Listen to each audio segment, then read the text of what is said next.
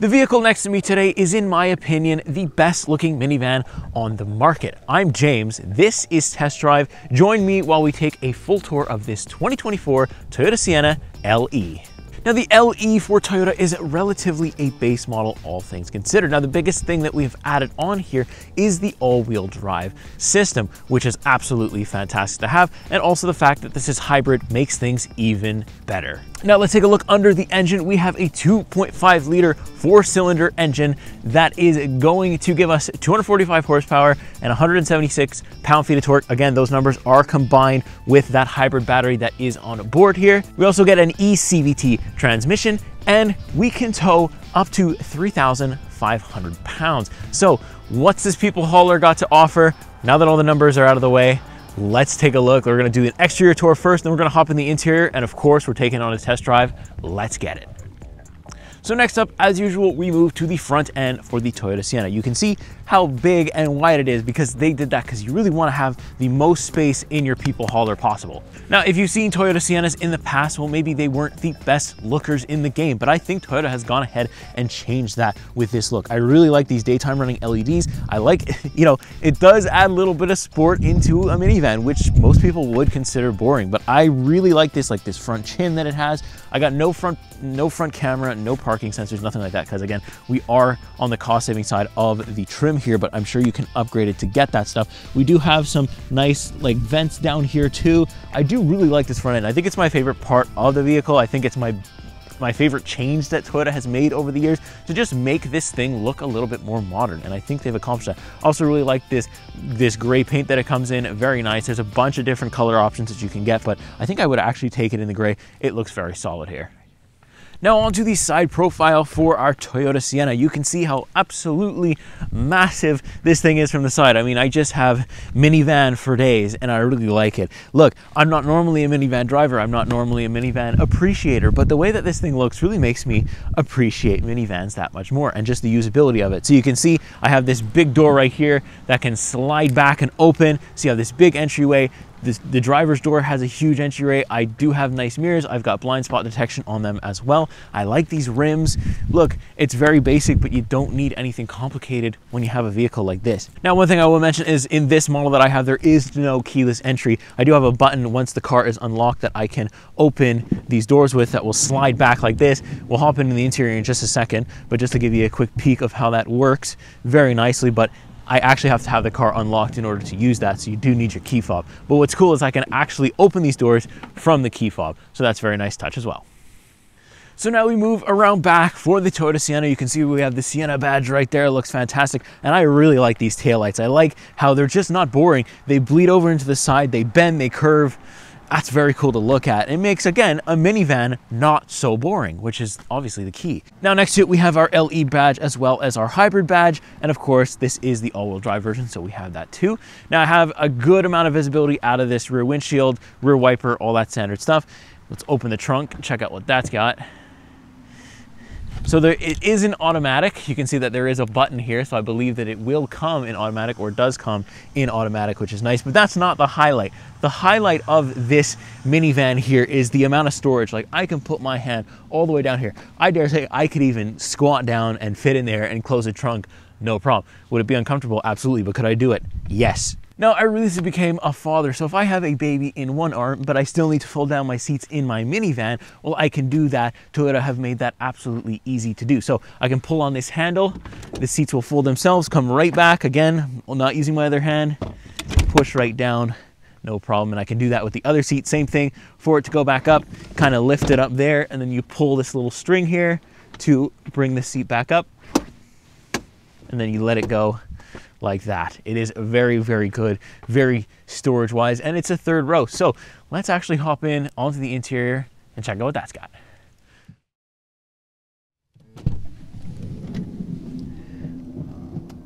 All right, here I am inside now, back seat for the Toyota Sienna, and I have a ton of room. I mean, I could be anywhere I need to be in this back seat and it's just great. This is the ultimate road tripper. I am comfortable back here. I've got space. I've got cup holders for days. I've got my own climate control back here that's single zone for the rear, which is really nice. I have cup holders. I, I, just there's just endless amount of storage and people space, and I think that's what makes this thing so good. I can even remove this middle seat and get even more cup holders. There's cup holders underneath this middle seat if you kind of want the captain chair kind of vibe going for you, and you want your third row to be that much more accessible. But I can see a bunch of people in here, just endless. And also these seats recline. As you can see, I have this one reclined. It also does move backwards and forwards, so I can go all the way up and about this far back.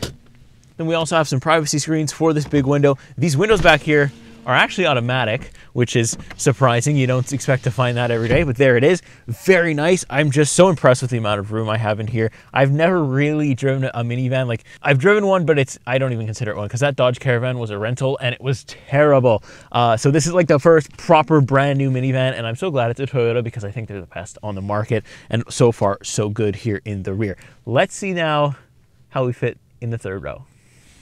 All right, so third row, enough room, right? Like it's there's just enough room where I'm not that uncomfortable. I mean, I don't think I would want to spend my road trip back here being a full adult, but if you have like small kids and stuff like that, or for short trips and I'm just going somewhere like going out to eat with a bunch of friends, this is perfect. This is no problem. I also have back here, I have a USB and a USB-C and two cup holders and a cup holder for the other side. It's actually perfect and it's so easy to get in. The doorway is so big, the seats fold up no problem there's really not much to complain. This is the ultimate people mover. Okay, so now my favorite part of the Sienna, the driver's seat. I really want to start by talking about the steering wheel because the second I put my hands on it, I'm like, oh, you know, I've really never driven too many Toyotas in my life, and I guess the minivan is going to be my first true Toyota or the longest I've ever spent in a Toyota. And they make great, if, if this is how it's going to be for the rest of the Toyotas that we drive here, they make great steering wheels. I really, really like the feel of it. I like how it's smooth, especially in a minivan. I'm not looking for feedback. I'm not winning any races in this car, 245 horsepower, you know, so I really like the feel of the steering wheel. Feeling is gonna be a big thing and comfort is gonna be a big thing with this van and that's how I'm gonna look at it. So for the steering wheel, I've got some media controls, basic stuff. I do have cruise control here, and I do have lane keep assist, which is a nice touch. This being one of the lower end models. I do have heated steering, heated seats. I've got automatic high beams, which again, very nice to see in this trim. I like the, the wood paneling everywhere. I like there's like, it's definitely not a boring interior. And you know, if they wanted to cost save, they had every right to make this interior plain and boring, and I don't really think they did that. I think they made a big effort to give us as much as they could. The only thing I will say about the heated steering is that it's only on the two sides of the steering wheel. It's not on the top or bottom, so you really got to drive like this when your hands are cold, and that will kind of suit you well. Then I have a good mix of digital and analog, kind of got like a digital screen in the, in the center here for my gauge cluster, which is decent, right? Like I don't need anything else. It tells me like my point of charge. It tells me, you know, everything I need to know, what the battery level at, what my fuel economy is at, all that stuff is right there. It tells me what drive mode I'm in. It tells me whether the, the gauge cluster on the left tells me whether I'm in charge, eco mode, or whether I'm getting into the power for the car, even though there's not much, there's not much power to it, but that's fine. We're not expecting that. Now I move over to our infotainment display. Plenty big, no problem. There's some Toyota apps you can you can download. Like if I press the map button, it's going to tell me that the navigation app isn't installed because it just isn't installed on my tester. But good to know that it can be. If you need it, that's great. It's very easy, very snappy. It's just basic, basic, basic, and that's all you need here. You, you don't need anything complicated because you're going to be focused more on the road. It does have wired CarPlay and Android Auto, so that's probably what most people I think are going to use in these vehicles. You plug it into the USB right up front here, and then it's just, you know, I just like how basic it is. There's really not much to say about it. Then we move a little bit lower. I have dual zone climate control up here. In total, that's three zones of automatic climate control, which is very nice, again, for the price point in this trim. I've got heated seats for the driver and passenger. Very nice. Again, buttons easily laid out, very easy to use and just hop in and drive. Then just below that, I have this nice shelf that doesn't really slide things around too much. I mean, you're not really doing that much sporty driving with a Sienna, so things are going to stay in place. You got this classic looking shifter, very simple once again. I've got four cup holders, two up front here, two here, a ton of storage in this thing. This thing just goes on forever. Then I have this thing on the bottom here that you could put bags, whatever you need. This is the ultimate, you know, I could just go on and on and on. I can go across Canada in this thing and have space for weeks and days. I do also have an EV mode, which I'm in right now. That's why you can't hear the engine if I turn it off the engine will kick on just like that. put myself uh, EV mode's not available probably because I just started the engine but there you go the engine's on now. But you can put it in EV mode especially if you're solely driving around in a parking lot but now I think I've used a little bit of the battery so it's going to use the engine to charge it because this is not a plug-in. So that's pretty much it for the highlights on the interior. Let's take it on a test drive and talk about seat comfort fuel economy how it is to actually drive and what it's like to live with a Toyota Sienna. Let's get on the road all right, so here we are out on the road now with the 2024 Toyota Sienna. And like I said, it's near the end of the week for me here, and I've had this all week, and it's just been absolute comfort and absolute ease to drive. You know, I just know it's gonna it's going to run the way it should be, and I'm going to be comfortable while doing it. And also, I'm going to save money because I've got the hybrid system in here, and this is a big car to, to lug around. So when you have the hybrid system, it's a very nice touch. Now, like I said, I do have some things in, in terms of drive modes. I've got an eco mode. I've also got a sport mode. So let's kind of give it some juice.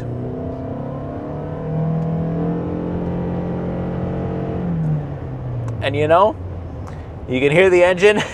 it's basically giving me all it's got, and its little electric battery is doing the same. And 245 horsepower, like I said, we're not winning any races, you know, and then you're not trying to. You just need to be good enough to be able to get up to highway speeds, and I think it does that no problem. I mean, I'm, I'm at the highway speeds that I would need to be, and that's it. It's perfect. I can go right back into my normal mode, and look, I'm just comfortable. I'm just sitting here driving across Canada, no problem if I needed to. You know, that's all it is. And like I said, this steering feel is so so good. Um, I'm such a fan of it. I hope the other Toyotas are like that too. Very very nice to, to feel to hold. Like I said, not looking for feedback here, just looking for comfort and easeability, and I've got that in droves with the Toyota Sienna. And it like, you know, I'm looking in my back mirror, I feel I do feel very big on the road. That, that's no secret there. But I don't mind because I am very very big and people usually know what a Toyota Sienna is and it's like if you have a large family or just you're you're regularly getting together with a lot of large groups of people then this could be very nice for you. And I think that you know if I if I happen to have a couple more kids I think it's the Toyota Sienna might be on the top of the list to get something going because it's just convenience convenience convenience and this is such a convenient minivan and uh, like I said, I just love the design of it. I love the interior of it. It's just easy to drive. The, the, seat comfort is good too. I'm not like, it's not too firm, not too soft. It's right there in that sweet spot. The passenger seat's just as comfortable. The rear seats are just like, it's all just comfort, comfort, comfort. And that's what you want, right? Because naturally you're gonna you're gonna take a minivan. Like the last time that I really drove a minivan was a Dodge Caravan. No idea what year it is but it you know and it was a rental. I wasn't doing reviews or anything like that so it was just a rental. I may i like i was doing reviews but not like actively not every week whatever. And i was like oh maybe i'll do a review on it. That thing was so garbage that i would have completely just it would be it would have been pointless. But it's not really i can't really blame dodge for that. I think it's more the the rental company not taking care of things. But that's the only thing i have to compare it to is a dodge caravan and you know Toyota Sienna is, is miles ahead of it, I think. just from the one that I drove, anyways, this is such a big improvement. And honestly, that one I drove gave me a bad taste for minivans when I drove it, and then the Sienna is kind of reviving my my like for minivans, my like for people haulers. It is really cool, really solid, and I just like you know me being a dad now, it's like well I have so much space for everything because now when I go out, you know I got the stroller, I got this, that, and the other thing, and the Sienna has space for like four of them. So not that I want four kids, but still that if I needed that, if I needed that capacity, it's there, it's ready to go, and it's excellent. Now I want to touch a little bit on fuel economy since this is a hybrid, so I'm using a little bit of gas and electric, but I'm still pretty much almost on a full tank. like it's, I really haven't dropped that much. I'm doing 8.3 liters per 100 kilometers. To me, that's impressive only because I do a lot of city driving, so lots and lots and lots of stop and go. Um, not so much, not a lot of highway, not long stretches of highway. I'm, I'm sure if I did a long stretch of highway, it would really drop that number. But it's really, really good, really solid. Toyota quotes about 6.7, so I'm just just a little bit above that, but still 6.7 is impressive if you can get there. But they evaluated highway and city combined. I do a lot of city driving, like small city driving, lots of stop signs and stuff like that. So, and it is a big thing to pick up and go all the time. So, completely, completely fine there. And like, I really like also the, the, the road noise is not very loud here. I feel like they've done a good job with noise isolation. So, you know, it's just a perfect thing. It's a, it's a perfect, you know, road tripper or everyday car, whether you're driving in it or being driven in it. Personally, I prefer to drive always, but you know, there's some people that just like to be passengers, and you can definitely do that in absolute comfort. Whether you're sitting next to the driver, you're sitting in the back seat, you're to be comfortable either way. So moments like these where I'm not really on the gas, there's a stop sign coming up ahead and I kind of let things go, it really does kick in that EV engine. Now I just want to show you what happens here when I press my EV mode and then try to kind of drive around in it. I'll tell you what what kilometer it actually clacks out at. So here we go. I'm going to come to a full stop here. Completely stopped, press my EV button, and let's go. From a stop sign, still in EV mode, still in EV mode, and boom. So around like 25 kilometers, it cut it off because the accelerator was pressed too far. So I wonder if I don't press it that much and just kind of give it some beams here. Let's try this again. All right, we're not gonna press it that much and there's nobody behind me, so I'm gonna keep it, I'm gonna try to accelerate, but like gradually.